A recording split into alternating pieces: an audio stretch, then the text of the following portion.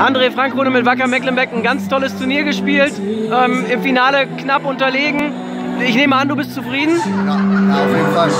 Meine Meinung ist halt, dass wir extrem äh, diszipliniert gespielt haben, am Ende auch verdient ins Finale gekommen sind. Ich habe eben schon vor dem Finale gesagt, wir sind stolz darauf, was wir erreicht haben, haben unseren Verein sehr gut präsentiert und ja, UFC macht ein frühes Tor, aber wir sind absolut zufrieden. Ja. Ihr habt sehr mutig gespielt mit der Britta als äh, fliegender Torhüterin.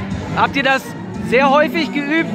Bedarf das großer Übungen oder ähm, war das einfach so eine spontane Nummer? Wir haben eigentlich, also wir haben schon äh, geübt und auch geplant, ähm, aber eigentlich erst nachdem Britta gesagt hat, dass sie auf dem Feld äh, nicht spielen möchte in der Halle. Ähm, kleine spontane Aktion, die dann aber am Ende auch ein bisschen geplant war die letzten zwei Wochen.